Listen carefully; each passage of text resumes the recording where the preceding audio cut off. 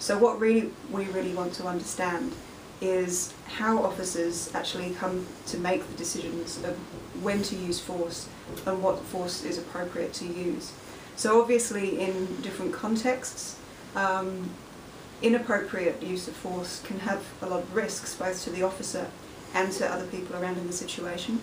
And so we really want to find out how officers can make better decisions and um, using that information we can feed that back to the police and they can incorporate that into their training.